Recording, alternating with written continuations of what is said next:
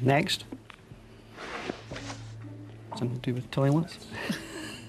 That's too obvious. too obvious. Much too obvious. What else could it be? Bowl, cistern. Oh, Cistern. I mean, bowl has got lots of connections, but not cistern. I can't see it. at Shall we the go for the next third one. Next.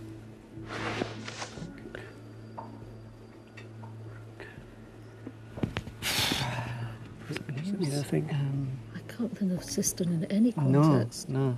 Is he a fourth one? Ten seconds Next. left. Are they ships of some kind? Or? Three seconds. No. I'm afraid your time is up, so I'm going to throw it over to Solent for a possible bonus point. They all contain the name of a bird. Yes, as any self respecting Scrabble player would notice immediately, the names of birds are hidden within all those words owl, tern, rook, and eagle. So that's one bonus point to you, Solent, and now you select your own Greek letter. Epsilon, please. Epsilon, first clue is coming up. Your time starts now. Fine type of fruit, citrus fruit. Oh, my darling. Next.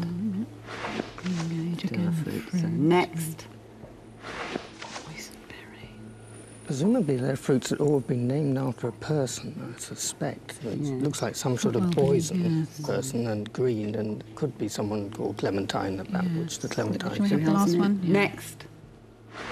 Well, Yes, obviously, yes, the same yes, thing then. yeah. So fruits or, Yeah, or like vegetables have all been named after a person. Ten seconds. They've all been named after a person. Can you be any more All fruits that have been named after a person.